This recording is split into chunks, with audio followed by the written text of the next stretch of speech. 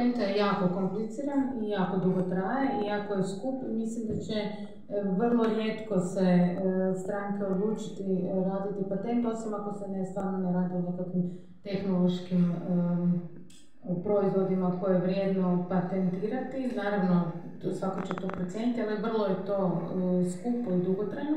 Što se tiče zaštite žiga, industrijskog dizajna, to je puno brže i jednostavnije.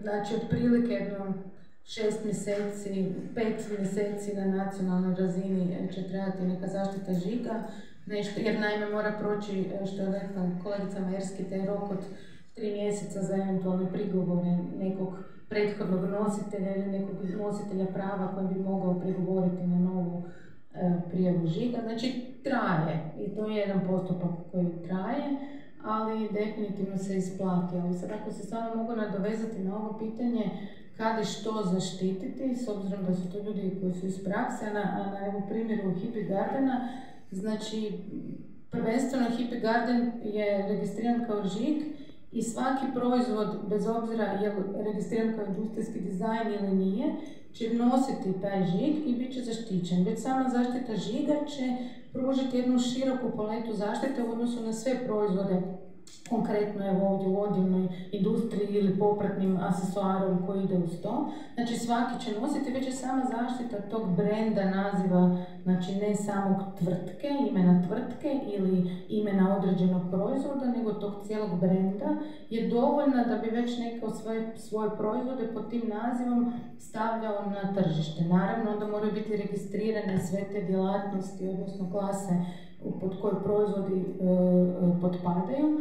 S tim da moram priznati da ja svoje e, klijente znam savjetovati da ne idu jako široko, jer ono što ne, ne proizvodite i ne koristite vam podliježe pak da netko drugi kaže da zato što ne koristite minimalno pet godina, da traži da onda u odnosu na to vam recimo žig više ne vrijedi, nego eto nekako da se specificirate baš za proizvode za koje radite, doduše, kažem se, to se cijela pravna tematika, nema posljednjih širenja tog žiga, ali tu treba procijeniti, ne treba baš ići na sve ko zna šta će u budućnosti raditi, nego držati se ipak neke svoje primarne djelatnosti ali ovaj, tako da eto, možda je to nekakav odbor kad se, kad se odlučujemo što bi zaštitili.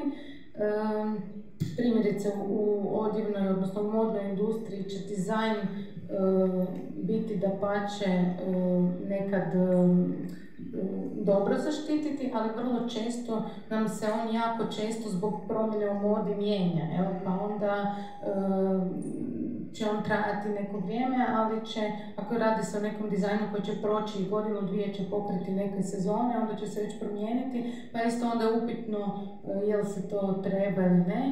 E, ja u mojem uredu radim e, dosta za brendove iz modne industrije koji su ono na međunarodnoj razini, oni naravno prvo kreću to što sam rekao, od nekog svog žiga, nekog svog naziva brenda koji svaki proizvod onda nosi i to je već dovoljno. Čak i oni odustaju od tog dizajna, recimo ne znam, oblika tenisica, pa onda se one mijenjaju iz sezone u sezonu pa to postane neisplativno. Gospođo Vorkapić, jesu li proizvođači po vašem mišljenju dovoljno svjesni i savjesni E, važnosti zaštite intelektualnog vlasništva i što bi im eventualno preporučili?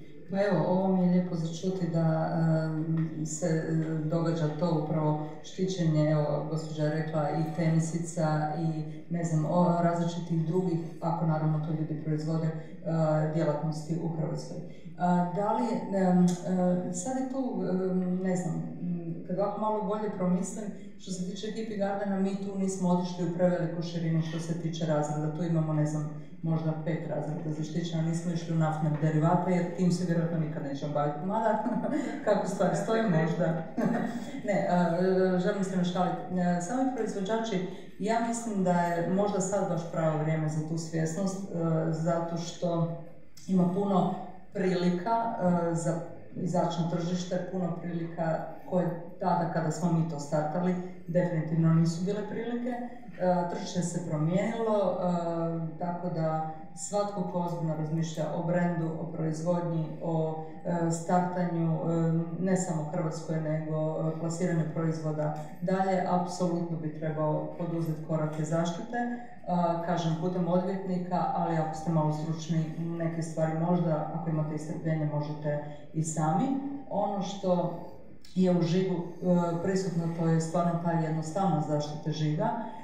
Konkretno mi imamo, kažem, dvije zaštite žiga, imamo i par industrijskih dizajna, mogu reći barem, pa evo, šest, sedam, možda čak i više. Za neke smo i u Ženevi dobili nagrade i imamo i jednu razinu patenta koju smo čekali, kako gospođa kaže, jako dugo, otprilike dvije godine. Tako da, ali ona se radi, apsolutno je drugačija, puno je teža i u pitanju nije ništa vezano uz modu, nego je e, u pitanju jedan humanitarni bankomat i kao takav je, kažem, e, došao na tu razinu patenta koji nam je stvarno dugo trebalo. Mi smo ga radili sami, morali smo imati stručnjake u tom području, IT-evce, ljude koji pričaju jezikom patenta, ja ne pričam jezikom patenta, a mislim da je to jako teško.